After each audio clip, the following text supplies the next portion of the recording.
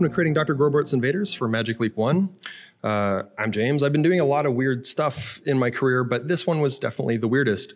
I started a long time ago making PC games from four months on the Lithtech engine, uh, which were interesting. Uh, worked on, do you remember what this is? Yeah, there we go. A few people remember the N-Gage. We did, the, did uh, a big tactical RPG for the N-Gage uh, shortly before the platform went away. Um, worked on PlayStation 2 era and GameCube and Xbox stuff uh, in Montreal with some really lovely folks. Um, went down to New Zealand the first time and did a, a couple more um, Xbox and PlayStation games down there, and even did a game for the iPhone 3GS, which was new and shiny at the time when mobile games were a thing. Um, that was just like, what is this? How does this work? Um, shipped a bunch of stuff in the Xbox 360 PS3 era, uh, and then um, was offered an interesting opportunity to go back to New Zealand. I'd gone back to Canada, was living in Toronto, working with Ubisoft up there.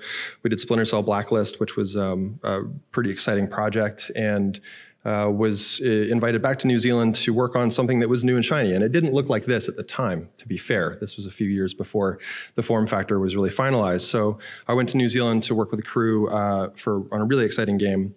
Uh, for the Magic Leap 1, which uh, shipped last August. Um, so the Ma Magic Leap, just I'm sure everybody's kind of aware, but uh, they're a uh, spatial computing company from Florida. We've got offices now everywhere from Zurich to Tel Aviv to Austin to Wellington, New Zealand. Um, and we've just uh, launched the first round of the hardware in August um, last year, and uh, it's been been really exciting to see what happens. Um, and we work out of Weta Workshop. Our crew uh, is in Wellington, New Zealand. Uh, and Workshop is a physical, award-winning physical effects uh, and props company. So if you've seen anything like all the Lord of the Rings films uh, and the Hobbit films, all of the armor and the swords and everything came out of that. District 9, the guns from that and the mech suits. Um, Kong, uh, all kinds of films. Um, Workshop makes really incredible stuff. And so it was sort of a, a strange thing to have a physical props company making a video game. Uh, so we work out of a new studio that we call Weta Gameshop, uh, which is just down the road from the main workshop because we sort of outgrew our space there and we needed to go somewhere. Um, and it's uh, fairly typical as game studios go. You know, you've got desks and those sorts of things. What isn't typical about the space is that we have um, one area that is a testing, we have two testing areas, one of which has got movable walls and furniture, a bunch of cubes, um, really nice to be attached to a props company. They can make us all kinds of fun stuff. And so we can reconfigure our spaces to try and um, experiment with the different ways that people's homes and offices might be set up. We have a, a more locked down kind of full on testing space. Um, and then of course our you know areas for hardware storage and things like that. But otherwise it's kind of what you'd expect from a game studio. Sorry. So just to clarify uh, a couple of things. So spatial computing, what do I mean by that? Um, just so we're all on the same page. Um, VR is something that it's a completely digital environment, right? It shuts out the real world and it takes you to a whole different place. It's amazing for immersion into um, whole other worlds. Uh, augmented reality sort of knows about, it's geospatially aware usually, it knows about the world and it can tell you some information about what's around you, but it doesn't actually integrate with the world. Um, spatial computing and mixed reality really does, it's digital content that interacts with your real world. Um, and that is where lots of the excitement came for me was how are we going to put games into your house, into your office, into the spaces around you, and interact with them in a meaningful way. So the first game that uh, we've made uh, is Dr. Grordbort's Invaders. Um, it's a fairly large-scale experience. It's a long-form uh, action game, uh, which is uh, kind of unusual for the space. I'll show you a quick clip from the trailer rather than the full trailer, but you'll get a sense of it.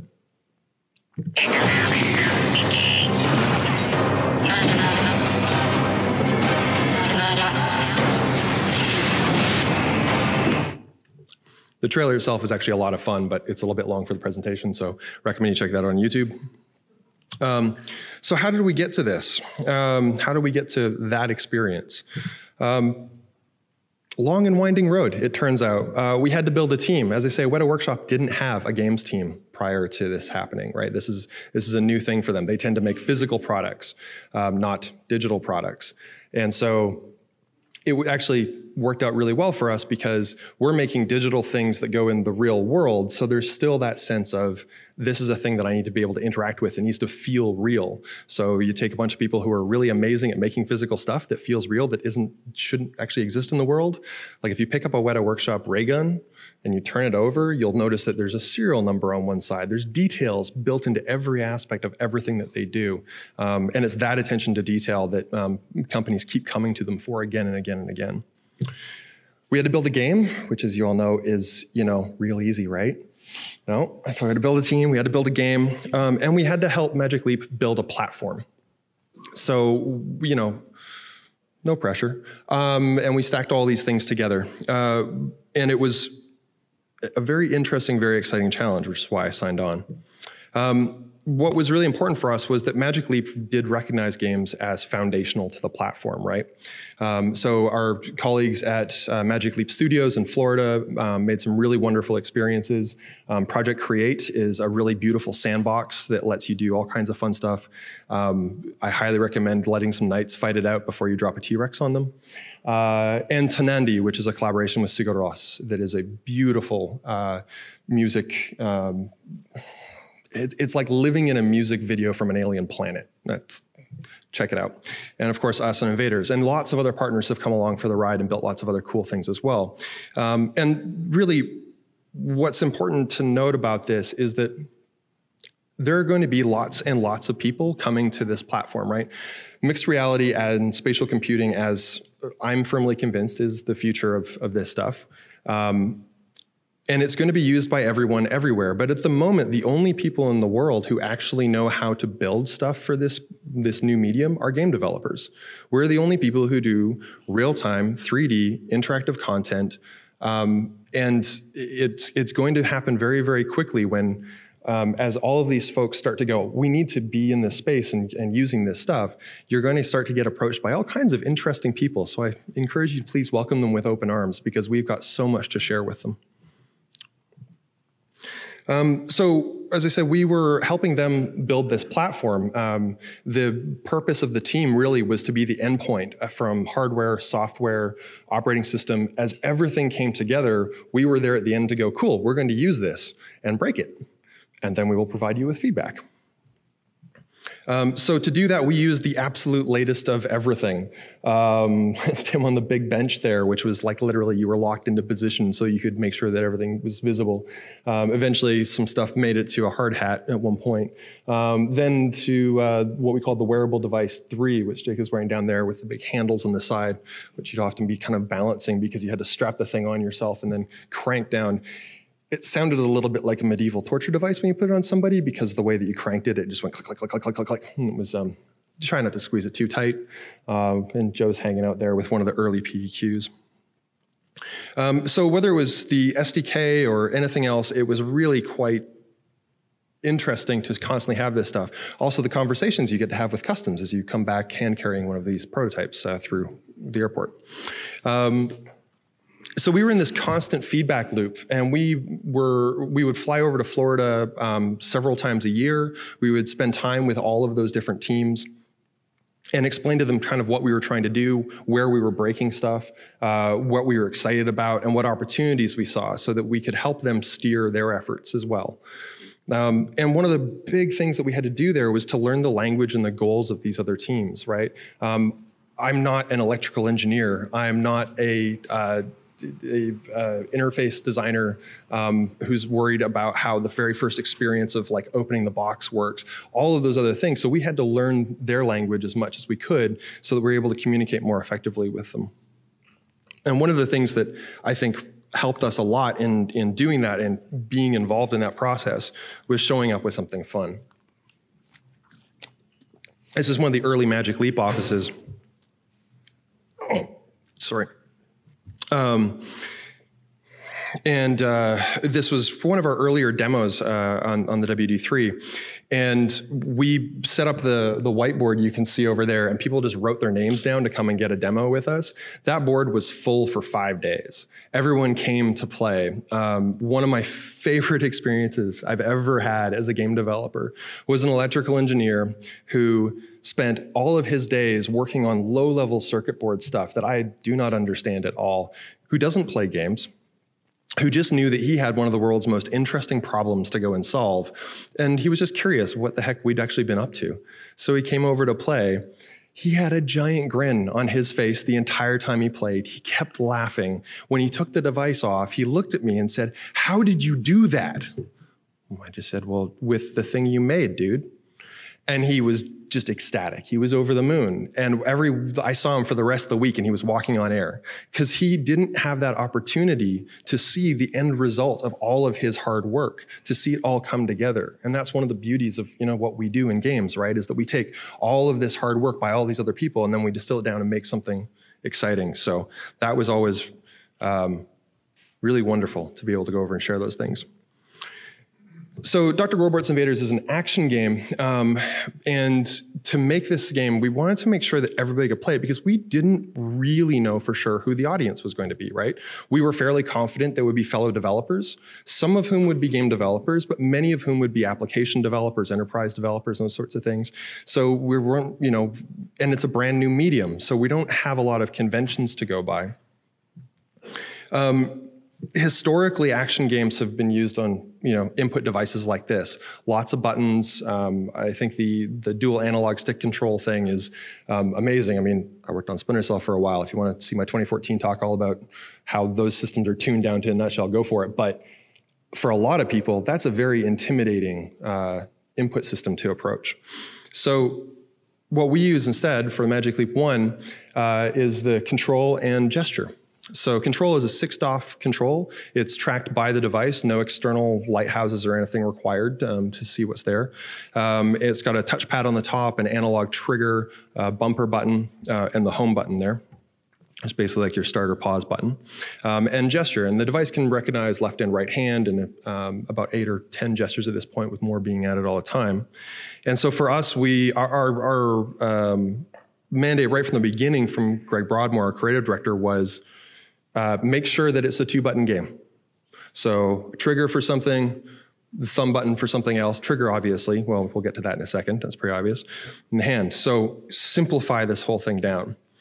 Um, and this was really, once we, we wrapped up, uh, this was really exciting for me as well because my mom has never played my games. My dad's never played my games. Um, they appreciate what I do and they like that I'm happy doing it, but they don't play them. Well, that's a shield. Oh, that would be awesome. That would be awesome. I'm burning a hole in my couch. So what did I'm Holy you were saying shoot! You girls gotta put this on. That was one of the coolest things that ever happened to me. My mom got to play my game and had a good time, and that was pretty special. So I feel like we kind of checked the box on the everybody can play button or list, whatever that is. So the game itself starts with these ray guns. Ray guns are the heart of the Dr. Grordbort's IP. Um, Greg, who uh, created it uh, a little over 10 years ago, started off with just some paintings of ray guns. And then they started making physical ray guns, and then comic books and a lot of other things that have come along since. Um, and so we wanted to, that's, that's really where we started with. And so we, we wanted to make sure you, you could get a ray gun. Cool, right? Also quite dangerous. Probably should sign a waiver. And the nice thing about ray guns is that once you, that's gimbal, um, once he hands you that ray gun, now it's in your hand, attached to the control, being tracked accurately. Um, and the thing with a ray gun is that we've, we made the game, at its heart, it's quite simple. You are under attack, and you have a solution to the problem. Everybody kind of understands what to do very, very quickly. The game has a lot more depth to it as you get further into it, but at the very heart of it, at that initial experience, it's really like, what is this thing in my hand? What is that? Oh no, okay. And the, the you know, time to solve is pretty quick. Um, one thing I'll mention is when people get their first virtual object in their hand, or the first time they can actually experience a virtual object in the real world, in mixed reality, give them time to appreciate that thing. Um, as I mentioned, you know, Weta Workshop is really about details. Excuse me. Um, and so we had like a variety of skins, for example, for the ray guns and stuff. Each one of these things has got so much detail and texture to it. Um, and you'll see the very first time someone gets a hold of a ray gun, they sit there and they just go like, what is, okay, this is a thing. There are bits on it moving, there are dials, there are bobs. When you fire it, it almost feels dangerous because the whole thing kind of vibrates and shakes. The effects are great. Um, so yeah, give people a chance to look at stuff. Um, also, players will just like they'll put their head in stuff. Um, so you can't control that, right? So make sure that you sort of consider your virtual content in a way that you don't get that because that's really disturbing. Um, what we came up with, um, James Brown, uh, one of our graphics programmers, did this really wonderful um, technique of an, what we call an outline shader. The device has a clip plane sitting at 37 centimeters so it's just out from your face. Um, and that's to avoid uh, vergence accommodation conflict, right? So we, we can render content 37 centimeters all the way out to infinity, multiple depth planes, so stuff feels like it's in exactly the right place. Your eyes naturally adjust to it. It's great. But we want to make sure that if you bring something in too close, it doesn't hurt, basically. Um, so one way around this uh, for us, for all of our content, was we use this sort of outline shader to make sure that at that clip point, you weren't getting things like the backs of people's eyeballs. Um, another thing we found was that putting UI on a ray gun didn't actually work out great. When people are playing, they're really looking out here because of, and this is going to be different, of course, for every experience that you make. But in our case, when we were playing a shooting game where there's objects out at a distance that you need to target, people are looking at that and they're doing this and they're going blam, blam, blam. Um, with the ray gun. And so we thought, well, hey, this object's going to be in field of view. They'll see it kind of regularly. We can we can tell them about stuff. Um, so at one point, we actually had like a health system that was like a, a three hits sort of system, and we put these like heart bulbs on the back. Reality is everybody looks past that object and occasionally they use it to aim a little bit. But often, of course, if you try and do this for any length of time, you get this and then this, and it gets quite tiring very quickly.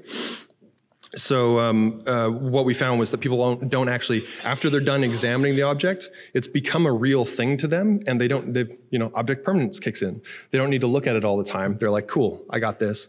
Um, so yeah, having stuff directly on the control. If you had an up close experience, I think, where you're doing sort of something fine on a table or whatever, uh, that might work. But for us, we found it wasn't super helpful.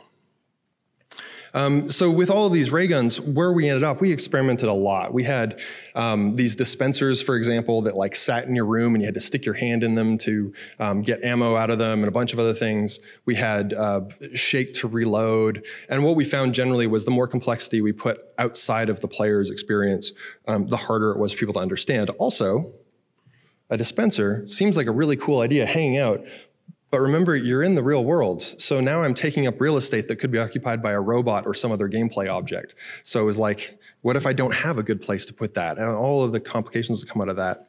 So where we ended up with it was actually putting the variety inside of um, different classes of ray gun. So we had heat ray guns that you know melted things and burned the armor off. We had force ray guns which shattered things and pushed them around. And then we had the grappling hook which allowed you to grab stuff and yank it into your hand. Um, and all of these ray guns sort of, over time, uh, the player learns how to use them uh, through, uh, through the different missions, and you get this um, different kinds of challenges inside of, of the caverns I'll talk about in a minute. But generally speaking, what we found was keeping things in the player's hand, keeping stuff you know, centered on the player was generally better than trying to externalize it um, in an action experience. But there are times, which I'll get to in a second, where we externalize stuff because we're in a much quieter environment or gen more gentle environment. But if we give you three of these things, how do you use them? How do you get a hold of them? Um, we came up with what we call a tool bangle, um, which basically, as soon as you touch the uh, the top of the trackpad there, it pops out these three, um, one of each of the classes of, of uh, tool that you've got, and then you just swipe your hand through it, or just tilt even in that direction, and it very quickly just swaps over to that. Um, people get into that uh, rhythm quite quickly and kind of because it's always um, heat grapple force so people very quickly get into this rhythm where they're just like oh i need my force and they just flick their wrist and the next thing they know they've got it, it works really well so we're in this strange new world. We're in mixed reality. Um, we're throwing robots at the player and everything else. So how are we going to teach the player how to, you know, learn about this space and enjoy it, um, uh, you know, quickly? Um, one of our primary ways was uh, Gimbal, um, and Gimbal is a is a companion character um, who features very very heavily in throughout the game. Um, he's a companion. Oh, cool! You must be my human. You look so uh, lifelike. Um, and just having a friend there is really quite someone who just addresses you directly and is able to, you know, be nice about what's going on around you. Very helpful. Um, he was uh, he's also the kind of the core protagonist of the story and the storyteller. I'm Gimbal. Nice to meet you. An introduction is in order. Hmm? I am Dr. Grordbort, and I am broadcasting to you from my headquarters at the Dr. Grordbort's factory. So Gimbal was able to bring all the human characters in the world through a holographic projection. Um, we did some fun stuff with these guys. Uh, they will look at the player, so they'll head track to you. Um, there's a few moments where uh, Dr. G will point at you, for example. He points directly at you. And those are really kind of spooky moments where you're standing there and this character just looks at you and you're like, okay, hi, all right, we're here now. Um, couple of little tricks you can get away with uh, when you're using holographic projection. Uh, if you keep walking around him to a point where he can't look at you anymore, he'll just sort of flicker and reorient because that way you don't have to do a bunch of footsteps, uh, which was quite helpful. Um, and uh, it meant that we could kind of pick good spots for him no matter what. And and uh, the other valuable thing that we found was you can see from Gimbal there his the projections coming off of the ring on his neck. Um, that means that when Gimbal starts projecting, you can sort of immediately tell where that character is going to be and follow to it. Um, and he's your guide. Um, so obviously, you know, you've got a limited field of view. It's fairly large, but it's still um, limited. And because we're introducing objects to the world that were not there previously, like how are you supposed to know that this thing's behind you? Well, audio cues help a lot, but we need to get you there. So one of the things that Gimbal does is super valuable is he'll gesture at a thing, look at it, move to it, and you naturally just follow him there. Um, and he was also a teacher. So this is um, explaining like Gimbal is throwing a wrench at you uh, so that you understand what pain is. Um, and the way that we communicated pain to the player was the, uh, or that they were taking damage was all virtual content would go red for a second. The world would actually slow down. It's a really, really valuable tool you've got access to. When the whole world is moving at normal speed, but suddenly game time changes, people notice that very, very quickly. It's um, super, super effective. Um, and then uh, through he'll do an animation to explain to you how to put your hand up. So you put your hand up, so you get shield, um, and now you blocked it. So, and finally, um, also a really helpful uh, character when you're in combat and he hides out in his hidey hole and he calls out where the threats are coming from to help you orient yourself. Um, yesterday, my colleague Jordan did a great talk uh, at the GDC AI Summit, and so if you want to know more about um, Gimbal, definitely dive into that one. It'll be on the vault um, afterwards. So we've got people moving around. We've started to show them where stuff is. We're guiding them through this space with a companion, um, but you're still standing and you're doing all this stuff. So our core game loop actually incorporated quite a lot of breaks in it to, to give players a chance to rest.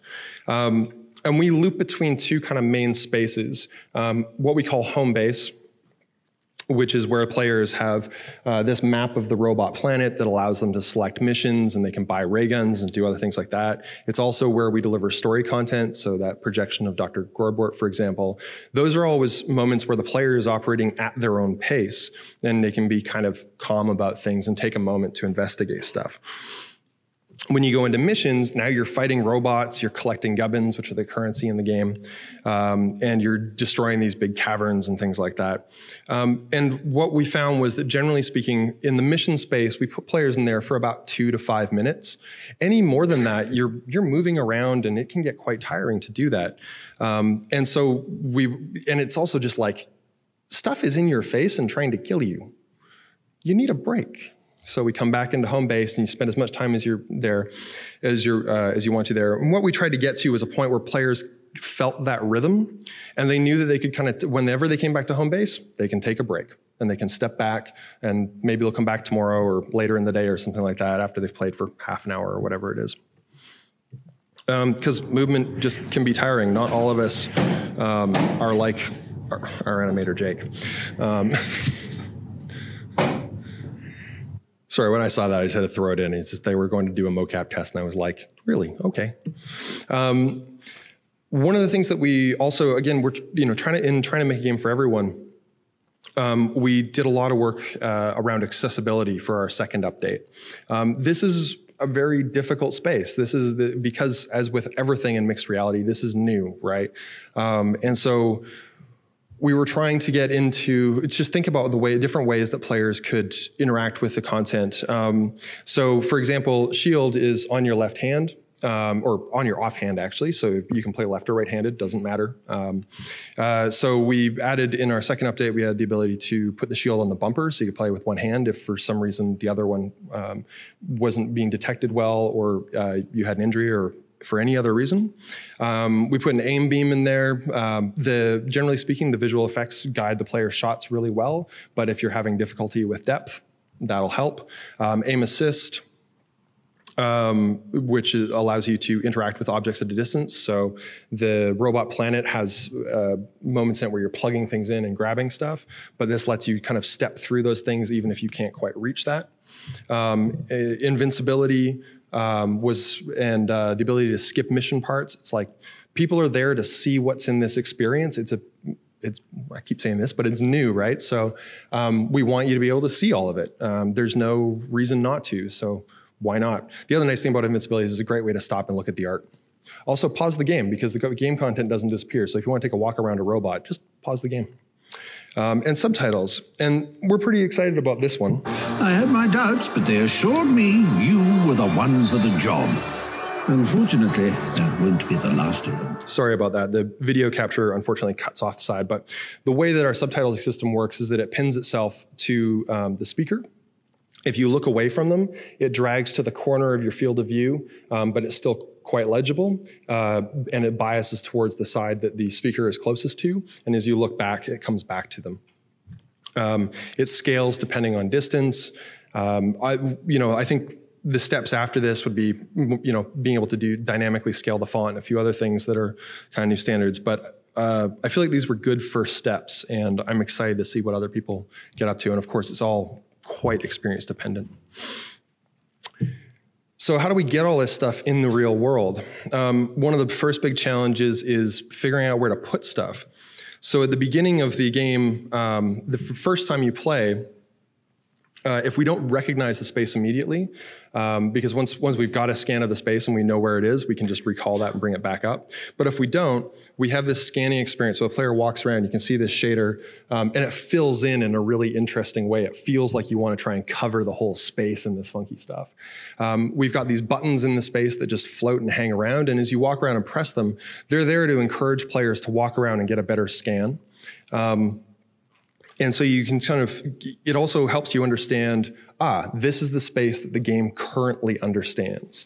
Uh, and so hopefully encourages people to do a fairly robust scan.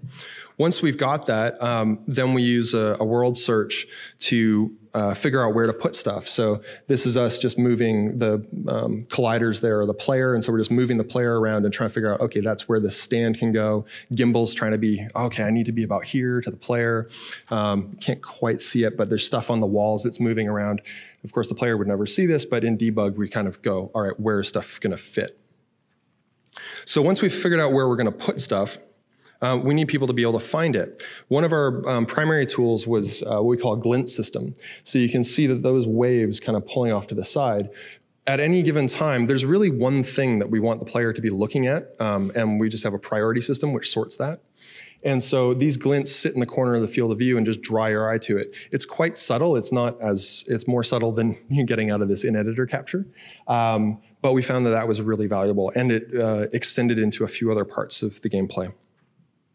Um, Gimbal, of course, as I previously mentioned, will always go, hey, things are over here. Um, wait until scene. Uh, so the look ats were really great. Um,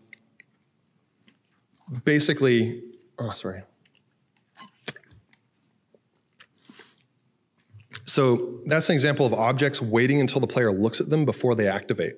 So we could have all these great animations of like portals opening and all this other cool stuff going on. Um, but if a player never sees it, well, that's a bummer. Uh, and it's and it doesn't, you know, it doesn't sell the the um, doesn't sell the fantasy as much. Uh, so what we would do is leave, for example, in the case of the porthole being closed there, we would leave a glint on it, and the porthole had a closed state, and you'd be kind of looking around going like, oh, is that? Oh, what's that? And then it would animate and open up. And we did that with lots of different objects so that players were always sort of aware that this was a living mechanical thing happening to them or around them, I should say. Sometimes up to them. Spatial audio is super, super important. Um, figuring out where things are, I mean, being able to hear stuff, the non-occluding speakers on the Magic Leap 1 are um, quite good for basically positioning stuff around the player. Uh, you would hear things coming out of walls and all around you all the time. Um, again, not a lot to get in there uh, from me, but uh, Dave Shumway is speaking about this on Thursday, um, and uh, his examples from Create are amazing, and he get you lots of details there. So if you're into the audio side, strongly recommend that. Um, again, stuff happening outside of your field of view, the porthole sparks were a really valuable thing. So as portholes were opening and being, basically we were like cutting them into the wall and doing that, we would cast these sparks off and we'd always try and make sure the sparks would cross the player's field of view. And that was really effective because of course they had directionality and so it would pull your attention towards them and you'd see them happen. And lastly, this one's really subtle, but it was a really neat thing that um, Simon, our, our VFX uh, guy, came up with, um, was ambient motes of stuff in the air. So we just kind of filled the space with this little gentle bit of dust. And that dust was always being sucked into whatever porthole was open. So there was always this sort of like subtle background thing drawing your attention towards where stuff was going on. Um, it's a little thing, but it was one of those, you know, I've gone through like six things, right? It's like everything on top of everything. You just try and layer this stuff in correctly. So how does all this stuff actually work? Now these are all like these weird contraptions, right? You've never dealt with this stuff before. We've got the robot planet, we've got Mishkars, we've got store, all of this stuff. These are fantastical objects. You've never interacted with them before. Um, so one thing that we found pretty quickly was making stuff physical was absolutely key. Every time we tried to abstract something away, um, I, it, we found that people got lost. So making it physical, making it something where you're just you're really doing this with your hands and your body and you're moving to it um, was was really important. So in this example, um, the player is plugged in to get a mission. The mission card prints out, and then they put it in the thing sorry, they put it in the briefing stand, and then now they can go and set up their loadout of what ray gun they want to use. Each step was discrete, and uh, you could go forwards and backwards in the chain depending on what you were doing. And that was really helpful for us because we knew where the player was at at any given point in this set of interactions. So we could make sure that you were guided through nice and cleanly and not confused by, um, you know, it, basically anytime that you were doing two things at once, people kind of lose track of it. Eventually, we'll probably get to the point where, you know, operating in virtual spaces like this, or sorry, with virtual content in the real world like this, is you know, kind of normal and we'll have some set of, you know, regular standards and norms that like WASD kind of stuff that people are used to. But in the meantime, you know, play test the crap out of it and you'll be surprised at just how quickly you can overload somebody's um, awareness of things. Um, and, you know, make it fun. Oh no, there we go. Um, the briefing cards and, and, a lot of other bits and pieces that we had, you can just grab and throw around. And just like people would spend like minutes just chucking this card in the air and then catching it and chucking it and catching it. And people will make a game out of anything, right? Um, and we just reprint you another card. Why not? Um, and making it smushable was really important. So smush is something that um, Tom Hall, one of our um, programmers, came up with as a way to avoid um, object interpenetration. Because nothing ruins immersion quite like going, oh, this virtual object just goes right through this visual, virtual object, and it has no sense of weight or presence. That's me using my hand. Uh, the render on the capture is not great, but get the sense of that. So each one of these physical objects, um, or virtual physical objects, uh, including things like the, the robot planet and whatnot, as you touch them and push them, they smoosh, they bounce around. They've all got physicality. Um, and so nothing ever clips through anything else. And that was, uh, he just, he came up with that one day, showed it to us, and everybody kind of went, everything has to do this, like everything which made our lives slightly more complicated, as you can imagine, but it worked out for the best. Um, and lastly, making this thing really physical. Um, the grappling gun was came out of one of our feature jams. Uh, so we would take some time off um, from kind of core development uh, every few months, and even uh, sometimes it was we were doing it once a month um, to try different things out. And the grappling gun came out of one of these jams and again it was one of those things that was like we need this this is really cool um, it lets you reach out grab something at a distance pull it to you and examine it and if you you know rip off a robot's leg and then you've got this object in your hand all of a sudden you're looking at it and then throw it back at them it's a good time. Um, there's just lots of bits and pieces you can interact with. What gets even weirder is that you reach into the robot planet through the portals that are in the wall and grab a virtual object from beyond the wall and then pull that back to you. And that is quite an experience the first time you do it.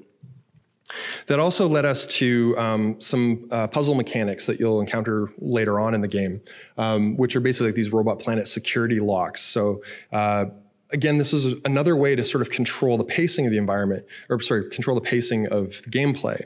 You're in there, you know, later missions, and things are kind of intense and there's lots of robots and we want to like slow stuff down a little bit. So we get into combat, we do some stuff, and then the robots like lock you out for a second.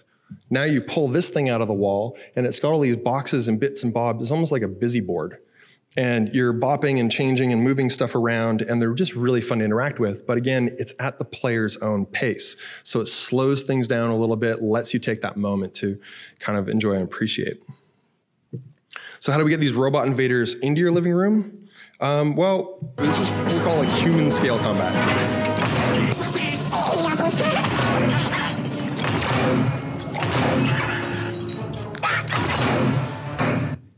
So you see we've got these, these robots that are of different sizes. They navigate the environment a little bit differently. Um, and we're just putting them you know, in your space with you.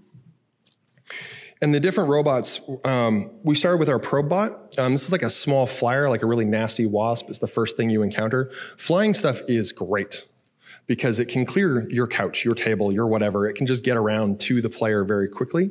Um, super helpful. It was also actually like the very first thing we put into mixed reality uh, from Workshop.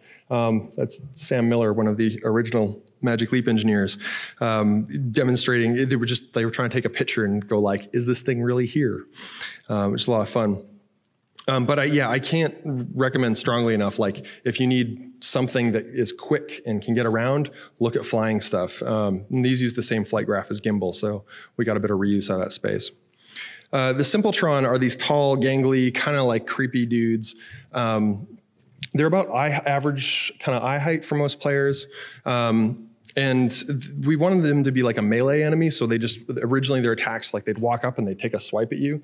It turns out that that was like getting really close and really kind of in your face. So we gave them a ranged, uh, like a, a ranged punch where they wind up and throw this punch out from quite a. They can do it from quite a distance. Um, and then eventually, when uh, as we as we were getting closer to kind of the final form factor of the device, and we were able to move around more we went back to giving them some melee attacks as well that were um, like this spinning attack, for example, where he just like sticks his arms out and helicopters at you, and you can hear it coming, and it sounds like a million razor blades. It's really, it's a bit freaky. Um, fun fact, though, everything is physical, including that attack. So if you sit down, it will miss you. It goes right over your head. Um, and then we had our Thugmabot, and these guys were waist high. They're just like permanently angry little dudes. They've got a jetpack so that they can clear um, obstacles in your room and in the caverns. Um, and they had a couple different ranged attack types. Um, and you can see all these robots are wearing you know, different types of armor. Um, the armor for us was really valuable because it let us challenge the player's ray gun choice in different ways. So like the rubberized one over there melts when you hit it with heat, but will reflect force and just the grapple bounces off of it. The um, that shiny chrome armor there can be obliterated with a force weapon, um, but again, the grappling hook will just skid off of it and it reflects uh, the heat ray guns. Um, and these are the fully armored versions, but when we introduce them to the player, we would give them like just the torso armor or just the leg armor, and that let us challenge um, the player's precision and also start teaching them where you know where they were going to be um, uh, vulnerable to certain types. And lastly, I'd say um, it's really important to keep this stuff kind of silly or at least it was for us. Um, because again we're, we're attacking you with these characters. This is really it's in your space. It's quite personal. Um, so we made sure that everything they all they've all got really goofy voice lines. They've got these fun little animations that they're their idles. Um, the uh, rockets that get fired from the Thugmabots um, are these like super angry little things that make goofy noises as they fly by your head. Also, really good for spatialized audio. Um, and we just added kind of humor wherever we could. Um, if you use the grappling hook on the walls of your room, like just against the wall there, you'll find that you can rip things out of the wall that you wouldn't expect. There's all kinds of stuff hidden behind the, the you know the, the boards of your house. Um, so the robots uh, all shared a nav mesh that was made up of grid positions that were constantly being weighed to find the best spot, um, taking into account things like player position, particularly line of sight, based on whatever attacks they had available, um, the position of the other robots, the height of surrounding geometry, um, and the available movement states from one position to the next. So do I need to be able to jetpack over there? Can I walk there in a straight line? Um, so th this was a, a really important, and I think it's one of those challenges that you'll find feels like a traditional game challenge until you go, I have no control over the world. All of my level design stuff goes out the window because I don't know where your couch is. Um, so being quite dynamic about this is really important. Um, and the attack tells, so that glint system that we use to kind of indicate where stuff is at for the player um, was, uh, was really valuable and we ended up with that. So you can see how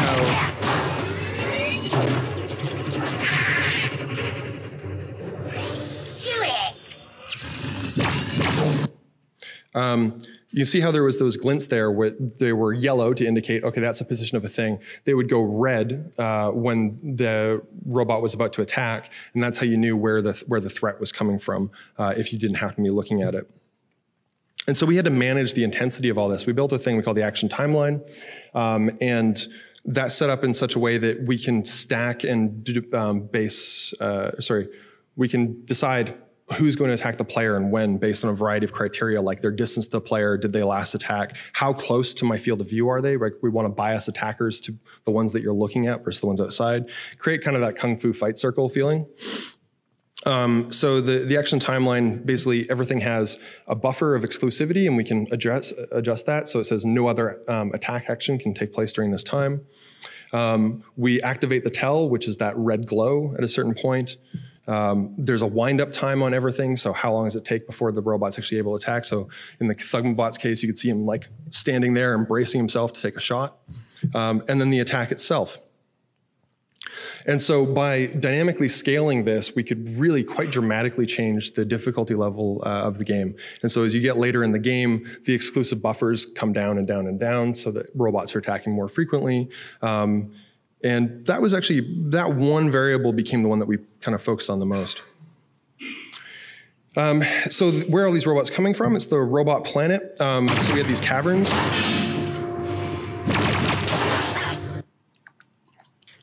So to sell the idea that this robot planet is this big space where these robots are being manufactured and invading the Earth from, we had a few of these really big caverns that would open up. And you can see um, if you walk up towards them or you stand to the left or right of them, you can just see all of this detail and depth inside of them.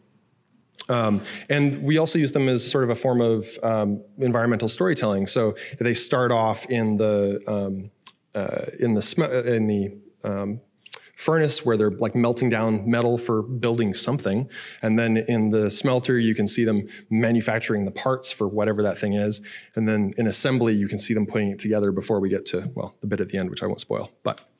Um, and these caverns, uh, all of them ended up with these light, what we call um, uh, gates, which were kind of light puzzle elements, like the, the heat-based one over there, um, this little robot who just pulls a lever. The idea being that you're sabotaging the robot planet. Each one of these um, responded to different uh, attack types, like the, the heat, the force, the grapple, and some of them were compound and had two. Um, one thing I'll note about that, though, is that we were, you know, sure, we're dynamically placing stuff in the environment, we're trying to get it all right all the time, and we've gotten now stuff out beyond the player's wall, but you've got to make sure they can see it because if that cavern happened to get placed up against the side of the wall, and the thing that they needed to shoot, the gate they needed to shoot, was like over there somewhere, you can't walk through your wall, right? So you can't even physically get yourself to a position where you could see it. Um, so we had to, uh, we developed a like a test harness basically in Unity that allowed us to kind of look through and figure out, okay, we assume that players can stand. We had to make a few assumptions, and one of them was the players can stand about this far away and see roughly this much. And the caverns themselves, again, to adapt to the player's space, could also lift up a sill. So they started off and they're about yay high. Um, and if there was a couch or something and that was just where we had a piece of clear wall, we would lift a sill up and then the robots could actually jump over out of it. And again, you had to make sure players could still see what was in there. So how do you get this consistency in diverse environments? You know, we've got the scan, we've got the, the world search to make sure stuff is there. Um, we did end up with a small minimum spec. Um, during the scanning phase, Ideally, players just look around and we get what we need uh, very quickly. But if necessary, um, they, if they hit the pause button, we'll show them kind of what the minimum spec is. And so for us, that was like uh, two 50 by 50 centimeter spaces, one 50 by 50 centimeter floor space, and uh, an 80 by 90 on the wall if we needed that. Um, once the scan satisfied those requirements, then we knew we could play the game in that space. So basically, like you can't control the level, right? The level's not there for you anymore. That's the player's room. Um, you can encourage people to move their furniture around, probably. Um, I'm sure that there will be experiences that do that, but we wanted to make it work. So you really need to focus on what a systemic experience is. How are you going to govern the play? The game's really got to fit the player's space.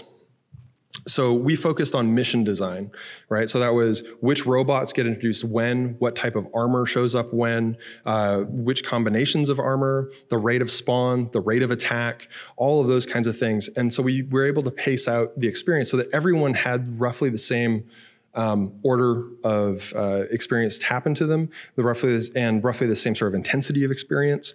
Um, and so I think it's really important to kind of you can create, and we did this a few times over the over the course of development, where we create a bit of a like a, a target ideal of like, oh, the best experience would kind of be this. What would we do? What variables would we need access to to try and get us to that point, and then make that true so we can kind of paint that experience everywhere. So we had to plan to be wrong. Um, this was the thing. Like we we've got all these robots and stuff. But as we were doing this, we were you know we had quite a bit of uh, hardware uh, change over time. This was the WD3, and you can see here um, as Richard's playing, uh, he's really, you know, he's standing in one place um, because he's got this tether to uh, to a PC, and um, he can't can't move around so much. And so we knew for a fact that we were going to be untethered. Our sixth off would, would work with, you know, attached to it. People were going to be able to walk everywhere. This was certain. This would be true. We were helping, you know, the Magic Leap team get there. Um, and it still blew our minds how wrong we were about all of the assumptions that we had around player movement and everything else. Where we got to in the end, you can see how different this is with um, what Jimmy Baird, one of our lead designers, calls a game about movement, where really we're trying to get people to move around in this space and it, it turned into a much more dynamic experience. Um, so yeah when you're developing on early stage stuff you can prepare to be wrong you know you're going to be wrong and it still shocks you a little bit about how wrong you are. Um, and I will say that you know ambiguity is difficult. This was a, a long road for us um, to you know to help develop this, to help develop the platform and develop the game. Um, we had to really you know conserve our energy um, throughout development. We were in research and development kind of phase for quite a long time, um, and we could have been sprinting at every milestone and throwing ourselves up against this thing. But we knew that at some point you know the time for that would eventually come. But in the meantime we needed to to just be experimenting and be uh, cognizant of it. Um, it was amazing how fast the magic leap engineering groups moved right? They were moving mountains to make a brand new platform from scratch. Like i can't i still can't quite comprehend how they pulled all that stuff off in the time they did. Um, but for us, it meant that we we sort of we try to build something to share with them to um, help them guide their process to get them excited and engaged with with what we were making. Um, but when we got to, and, but then we still had gas in the tank once it was like, okay, we've got the final form factor, away we go. The good news is, um, you know, it's probably not going to be this kind of hard again. Uh, we now have a platform. We have the operating system, we have the SDK, and it's getting better all the time. Uh, just in December, we did a game jam, and in three days, we built nine prototypes. And uh, it used to take us three days to get something to work. So it feels really good. It feels like we're in a, we're in a very exciting space with this. So we shipped it. Um, we launched Dr. Grordbort's Invaders at the LEAP convention uh, in October um, in Los Angeles. Uh, we built four of these demo bays. Um, you can see they look quite big and quite open compared to probably what your uh, living room would be. And that's partly, uh, you know, it gives the robots lots of space to navigate and everything else, but it's also because you can play in a much tighter space that you're familiar with. When you're in an unfamiliar space, like it's a health and safety hazard because you'll be running around. And I, uh, I saw some great stuff. I saw somebody actually like dive behind that thing and shoot from underneath a coffee table, which I thought was great. Um, so yeah, bear in mind that if you're demoing things, uh, any space that you're familiar with, you've, you've got like a built-in kind of proprioception and, and, sense of that space that other people won't have. So we try to make it safe for everybody. Um, of course, because it's Weta Workshop, we couldn't you know, just do it normally. We had to have uh, lots of folks there. Um, you know, our scientists were great. They were welcoming people into the experience, getting them to sign their lives away on a blood spattered piece of paper, uh, and then handing them off to us for demos. Um, we had Lord Cockswain himself there and uh, the Lady Victoria. Uh, it was a good time and people just really enjoyed it. It was it was really gratifying for us to spend having spent all that time, you know, quietly uh, hiding out in New Zealand, making this funky thing. For people to just go and have a real good time with it. Um, the press reception was really positive, which was gratifying, uh, and I think lots of folks have have said that it's been helpful for them to see what a full experience can be in this medium. Um, so just to wrap up, um, if you have the opportunity to help develop on a platform, um, communication is key. I mean, that's true always and forever, right, of anything we do, but it really is. Um, be prepared to live with friction. This stuff was really hard for a long time, and you just kind of have to get zen about it. Our technical director, Mike, I swear, is some sort of Buddha. Um, you've got to figure out what's under your direct control and maximize for it. So we knew that we could control, for example, like we're working in Unity, we're on, we're in Editor on PC, fine, no problem. We can build lots of stuff there, figure out how we take that to this early stage hardware as quickly as possible. Um, but then how do we, you know, make as much as we can and then push it over, make as much as we can and push it over to speed up. And lastly, of course, bring the fun to your partners. If you're a game developer working with uh, non-game teams, you can, you can make their month by showing up with something great. So spatial computing is super ridiculously exciting. I'm very excited about it. It's why I moved back to New Zealand. Um, and I hope you all have a crack at it. Everything is new again, including our audience, right? The, the, one of the things, as I said at the beginning, we're really like people can just get into this. You put it on and you're like, oh, I've got a thing. Oh, I've got a ray gun. Oh, eh, things are happening. Um, and we've seen this with all of our experiences. Tónandi, you just reach out and touch stuff. And it's, uh, it's quite different. Um, and so you're going to you know meet all kinds of people who have maybe never played games before, certainly never played an immersive game before like this. Um, and so, you know, be prepared for that. Um, get physical. You know, we found that we could prototype a lot of stuff by, uh, you know, just basically acting it out. You know, this is like where does Gimbal need to be in relation to the robot planet as the player goes through different steps. Um, you know, so there's Greg, Jimmy, and Jordan acting out like what would happen as you're working as you as the player goes through this stuff. Um, you've got almost no control over the player's space, um, and that's a feature, not a bug. Build to it. You know, it's it's going to be hard. It's going to be tricky, uh, but take advantage of that. Take advantage of of really like thinking through systemic design, and focus on player comfort you know both the physical and the mental. You know take like even light physical activity can be tiring over time. Um, you know you think about like the minority report interface where he's moving stuff around. There was an interview and tom cruise said it's one of the hardest things he's ever done in film because he had to keep his arms out there for shot after shot after shot. You know so think about things like that. Um, make sure that you're not building something in in a vacuum where you're like cool i built this on my computer. Always always always push to device, stand up and test, move around, play it in the environment that you expect it to be played in. And defend the planet from the robot invaders. Thanks very much.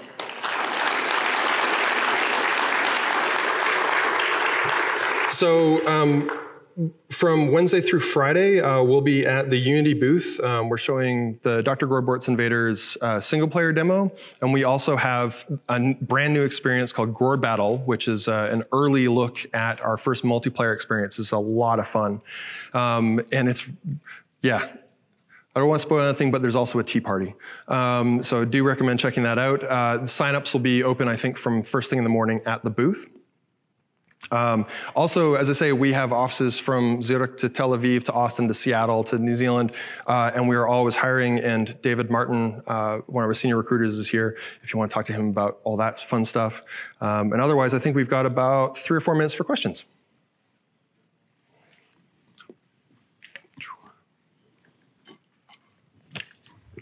Uh, great job. Um, I, I played the game myself. Actually, my mom had the same experience uh, as your mom did. not She actually Yes! almost, almost knocked down a wall painting trying to like swing at a robot. And so the number re- of people we've had almost put their heads through walls trying to look at portals is just like, it was it was really amazing for me to see. Um, and um, that kind of brings me to to you know you mentioned the physicality of this and, and how you know players can get a little bit tired and so forth. Um, and I'm wondering, um, given that you've you know you know spent years on this, um, do you have a sense of what you think the breakdown might be going forward in mixed reality between uh, these kind of more physical experiences? Do you think that's going to be what really drives the popularity of these platforms, or um, will it be kind of a little bit more kind of casual, uh, almost more like kind of how traditional games are? Maybe something more like the you know the Angry Birds experience. What, what, what's your take on what do you think people are actually going to be doing, and, and do you have any statistics on what people have been um, doing in the game uh, out in the wild, like in terms of play time, um, you know, and so forth, completion rates and things like Yeah. that? Uh, so I'm trying to read someone's question, but um, are you know are we expecting to see casual experiences, more physical experiences, more seated experiences? Um, I think the answer to that is we just don't know. Uh, I think we'll see probably a lot of stuff, right? Like it's just you know just like on your phone or your console, you've got everything from a match three to God of War. And I think people are, you know, people are going to find and want different things um, depending on on their mood. So we'll see how that goes. Um, uh, second part was about the oh, the stats. Yeah, so we we have some. Uh, yeah, we do have some analytics, and basically we were looking for yeah, how long are people playing for? You know, average session length, things like that. Um, off the top of my head, I think our average session length is somewhere between 10 and 40 minutes, which is quite a range. But we see, you know, you obviously you see outliers of people who play for a couple hours. The battery will go for almost three hours um, playing. So, um, yeah, it's it's quite variable, I think. Um, but yeah, it's it's also like it's worth noting. I think that because we're so early in this in this stage of the platform, like people are people are engaging with it both as players. I'm here. I want the experience, and as developers, going, how does this thing work? And so like they're just jumping in, going like, oh, okay, buttons are kind of like this. That's cool. That's a reference for me, and they get out. So I think our actual like the reality of our stats is probably not it's not indicative of of players per se. It's indicative of this wide range of people who have got access to the device. Cool. Thank you. You mentioned how unusual it was for Weta to make a video game. I'm just wondering, well, how that decision came about. Like who was like, we need a game studio. Let's go talk to the guys that did Lord of the Rings swords. Oh, um, so the the Magic Leap Weta Workshop relationship predates Magic really? Leap. So Okay. Rony Abovitz, um, who's the CEO of Magic Leap, um, first got in touch with uh, Weta to um, work on uh, a sci-fi world that he wanted to create because that's what we do. Very. Uh, and so they were already had that relationship going. And as Magic Leap became a thing, he was like, "We need games. We need content. Hey guys, I love this. The Grordborts ray guns and stuff seems like a good fit." And away they went. Awesome. Thanks. Hi. Oh. Okay, I'll t- hop this way and then this way. Sorry. Ladies first. Okay, thank you. Um, this was great. I'm wondering what you see different considerations or like net new um, things developers should keep in mind for multiplayer when it comes to spatial computing. Uh, so things to keep in mind for multiplayer when it comes to spatial computing. Um, space obviously is like the I mean the spatial part is the huge one. We've had four or six people running around, you know, playing with each other, and um, the there's a reason there's a tea party to kind of start the experience to keep things chill before we start moving people around a bunch. Um, I think yeah, I think space is, is honestly the single biggest consideration, and then like what's um, interactions with other people are amazing in mixed reality. Like it's just there's something really special about being able to do something unreal and a little bit weird just together in the real world. So yeah, I would strongly encourage like anything that's cooperative or um, like direct one-to-one interaction is is yeah. Thank you. Cheers. Um, so I played the game and I was really impressed with the transparency. I was curious how you guys achieve that because most of the games have um, all the assets. They still look really transparent in the real world. Uh, do you have any neat tricks uh, how to fix that? Um, yeah, so ways to make the, the virtual content appear more grounded. Um, I think it primarily is just our lighting model. Um, that we we tweaked that a long time, um, and uh, I'm unfortunately not the best person to speak to the specifics of that. Um, you probably, if you swing by the Unity booth, uh, Tom Hall's there. Um, he can probably tell you a little bit more about it. Cool. We got. Um, uh, you go for it. Yeah. Two minutes. Okay. Cool. Uh, uh, uh in, uh, in my understanding, uh, Grip One uh, have a uh, two two layer display. Uh, that that contains uh, uh two different fo- focal length distance. And uh, uh, what uh, is your uh, is the usage of uh, in, in your uh, game title? Uh, uh, near layer is dedicated for the ray guns, or uh, if uh, when the robot comes close to the user, uh, do you use the near layer and the far, far layer? So when are we, uh, you know, how are we choosing, excuse me, how are we choosing which depth plane to, to be using? Um, it's driven primarily by, um, by uh, oh, excuse me, eye tracking. So based on what the player is looking at, so if you're looking at a robot at a distance, we're rendering far plane. If that robot comes up really close and you're looking at it right here, we're it's it, it's like a fundamental part of the platform is really to make sure that um, the rendering is as accommodating to the eye as possible. So it's eye tracked that way. So we just we drive it based on the standards that the SDK sets. Uh, is it smooth uh, with, uh, on switching between uh, layers? It's quite. I mean, it's it's a fraction of a second, and people are blinking enough that usually you don't notice it so much. But um, sometimes you'll see it switch a little bit. But that's yeah. Um, it's not. Yeah, don't notice it really. Okay, thank you. Cheers. Alright, uh, real quick, um, did you ever think instead of like having people like skip certain sections if they're having difficulties, uh, did you ever think of maybe setting up a sort of scaling difficulty where like the exclusion buffer that you're talking about was kind of like maybe increased a bit, or you know decrease the amount of robots coming through, or Yeah. Yeah. So dynamic difficulty scaling. Yes. We we experimented with it. Um, unfortunately, it, it was it was a really difficult one to get the right kind of information out of it. Um, I definitely think that's a that's a place to be looking, um, especially to accommodate as many players as possible. Um, but yeah, unfortunately for us, it wasn't something that we never kind of got it to a place where it felt right. So we kind of were like, mm, we'll we'll step back. And the skip was added a bit later to accommodate for anybody who had real challenges with it. thank you. Okay, last one. Cool. Um, I really enjoyed the experience. Um, but uh, we I'm using it actually as a reference point for something we're working on right now. Um, the pro- thing I was most interested in were the portals, right? That the robots come out of. I was kind of curious. Can you speak to how you guys accomplished that? Because you know, trying to include the spatial mesh, and Right. I had like the occlusion mesh. It was just it was it was I, I got a solution, but it took some work Yeah. to get to that point. Um, so how do we get the portals on the wall? Yeah. Um, it's uh, basically we're uh, we're rendering the entire um, cavern space on the other side of your wall and just sticking it on there. It's not like a, a traditional, not traditional. It's not like a, a a proper portal system. It's literally like we've put the geometry on there and then we've put occluders around it so that you can only see through from certain angles. Um, basically, one of the big challenges we had was um, making sure that like these the robots are walking with IK and stuff, right? So having them having the physics transfer nice and cleanly between the real world and the virtual world, and having shots travel through that and everything else. Um, we tried a few times to do different portal systems, and all of them at the end of the day were a little bit too expensive and a, and just created so many edge cases that we stuck with that that format. Um, I think in the future it would be really nice to have a, a- like a, a really sweet portal system. So we'll probably build something like that at, at some point, I'm sure. But um, yeah, at the moment it's just like literally there's the level, stick it on the outside of the wall. Try not to walk through the wall. Thank you. Yeah. Cheers. Thanks very much, everyone.